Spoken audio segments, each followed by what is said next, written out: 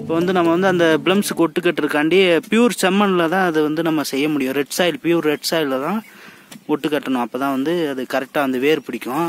அதனால் இப்போ மண் தோண்டிகிட்டு இருக்காரு ஐயா. அதை பார்ப்போம்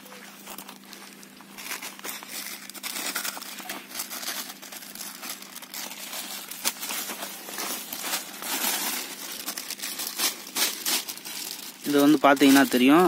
உங்களுக்கு ஃபுல் ரெட் சாயில் இது. செம்மண். சுத்தமான செம்மண். இதை வந்து கொண்டு போய் அதை கட்ட போகிறோம் அது பார்க்கலாம் நம்ம. ஒட்டுக்கட்ட தயாராகிட்டுமா இப்போ இதுக்கு வந்து என்னென்ன நம்ம வந்து தேவை அதுக்கு?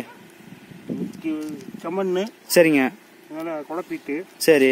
மண்ணை அது லைட்டாக தண்ணி கட்டி இருந்துச்சுன்னா தண்ணி ஊற்றி குழப்பிட்டு அது பிடிக்கிறது மாதிரி கப்புண்டு பிடிக்கிற மாதிரி ஒரு சரிங்க. வச்சுட்டு அதுக்கப்புறம் இந்த பிளாஸ்டிக் கவர் வச்சு கட்டணுங்களா? பிளாஸ்டிக் கவருக்கு வச்சு கட்டணும். சரிங்க சரிங்க. இப்போ குழப்பியாச்சு. சரிங்க. அடுத்து இந்த மரத்தை அறுத்துட்டு சரிங்க. ஆ சரிங்க. ஆ இப்போ மரத்தை அறுக்க போகிறீங்களா சரிங்க. இது எப்படி அறுத்து என்ன பண்ணணும் ஃபஸ்ட்டு மட்டை காயப்படாமல் அறுத்துட்டு சரி. அதுக்கப்புறம் குழந்துட்டு ஆ அதுக்கப்புறம் அது குச்சி வச்சு சரிங்க. போட்டு கட்டணும். சரிங்க சரிங்க. இப்போ இது வந்து எந்த மாசத்துல இந்த ஒட்டு கட்டுறது வந்து செய்யறது எந்த மாசம்? இது வந்து ஜனவரி பிப்ரவரி. ஜனவரி பிப்ரவரி. அந்த மாதங்கள்ல வந்து ஒட்டு கட்டினா நல்லா உயிர் பிடிச்சிரும். சரிங்க. தமிழ் மாசம் வந்து மார்கழி மாசம். சரிங்க சரிங்க. தை மார்கழியில கட்டணும். அப்போ இங்கிலீஷுக்கு வந்து ஜனவரி பிப்ரவரி. சரிங்க. மாதத்துக்குள்ளே சரிங்க.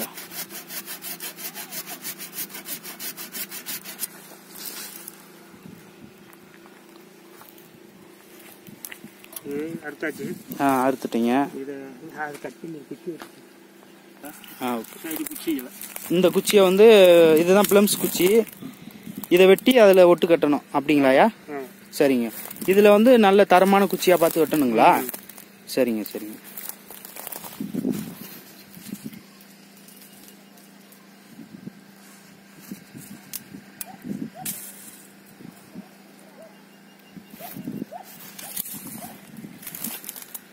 இது வந்து மட்டமா சீவனுங்களா இல்லை கூம்பு வடி சீவிட்டு மட்டமா? சைடில் ஆ. ஓ இந்த இந்த ஊசியா இருக்கிறது வந்து உள்ள வந்து சொருகணும். இந்த மட்டமா இருக்கிறத மேலே வச்சிடணும். ஆ சரிங்க சரி. சரிங்க. ஆ அந்த மரத்துல வந்து ஒரு குச்சி ஒட்டு கட்டணுங்களா இல்ல ரெண்டு குச்சி. ரெண்டு குச்சி கட்டணும்? குச்சி. சரிங்க சரிங்க. இப்போ ரெண்டு குச்சி கட்டினோம்னா ரெண்டுமே தலைஞ்சிரும் ஆ சரிங்க சரி. இதுல வந்து தெரியுது. இந்த நீங்க பாத்தீங்கன்னா தெரியும் இப்போ வந்து இது வந்து இந்த வெட்டியாச்சு பிளம்ஸ் குச்சி இப்போ அது பிளக்க போறீங்க ரெண்டா.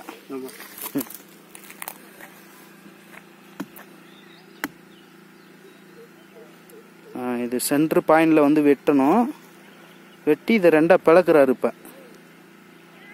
அது வந்து பிளக்குறது வந்து மெதுவா பண்ணணும். ரொம்ப பெருசா பிளந்துட்டோம்னா அந்த குச்சி வேஸ்ட் ஆயிரும். அப்படித்தானங்கய்யா?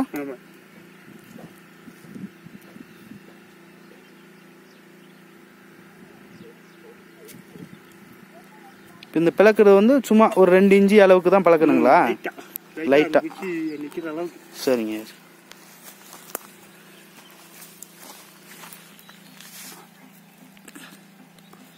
அந்த பிளந்ததுக்குள்ள வந்து இந்த குச்சியை சொருகுறாங்க.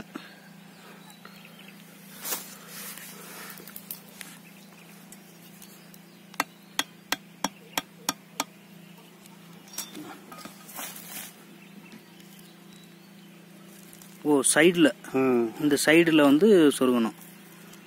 அந்த தோல்களை உறிஞ்சிடாம ம். தோலெல்லாம் உரியாமல் சேஃப்டியாக சொருகணும். ம். சரிங்கய்யா.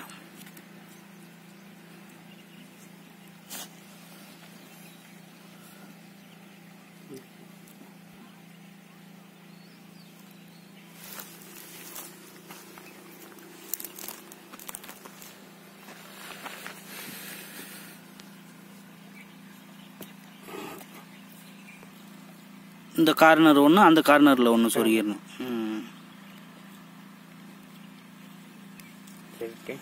சரிங்க. இந்த குழப்பி வச்ச செம்மண்ணை எடுத்து அதில் அந்த கேப்பில் ஃபுல்லாக சொருகிடணுங்களா?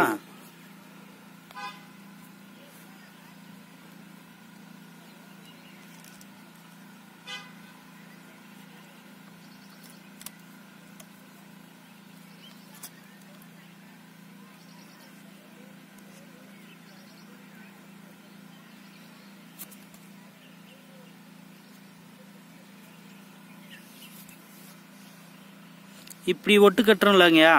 இப்போ இந்த ஒட்டு கட்டி எவ்வளோ நாளில் இது வந்து தலைய ஆரம்பிக்கும்? பதினஞ்சு நாள்ல இலை வந்துடும் பதினஞ்சு நாள் ஆகும். பதினஞ்சு நாளில் வந்து அதில் இந்த பிளம்ஸ் எல்லாம் வர ஆரம்பிச்சிருங்களா சரிங்க சரி இப்போ கீழே இந்த பிச்சீஸ் வந்து பிச்சீஸ் மரமாக வராது அடுத்து. ஃபுல்லாக பிளம்ஸு சரிங்க. இப்போ இது கட் பண்ணிட்டோம். இது அந்த வேர் வந்து அதுக்கான தேவையான ஊட்டச்சத்துலாம் எடுத்து பிளம்ஸ் செடி கொடுத்துருங்களா? சரிங்க சரிங்க. என்ன வேணும்? ஆ சரிங்க. பிளாஸ்டிக். இப்போ இது மண் நல்லா தடவி இது பண்ணிட்டீங்க. நல்லா ஃபுல்லாக கட்டிட்டீங்க. கட்டி அதை நடுவில் கட்டணும். பிளாஸ்டிக் கண்டிப்பாக கட்டி ஆகணுங்களா? காற்று போகக்கூடாது. இது எதுக்காண்டி? காற்று போகாமல் இருக்கிறதுக்காண்டியா ஓ. இப்போ இந்த நம்ம வெட்டி ஊண்டுன இந்த பிளம்ஸ் குச்சி வந்து அதில் வே அதோட இதில் வேர் பிடிச்சி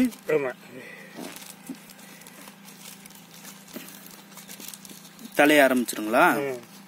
இது அப்படியே எதுக்கு எது காற்று போகாம ம் கட் பண்ணணும் ஓ காற்று போகக்கூடாது. காற்று போனால் தலையாது. ம். சரிங்க.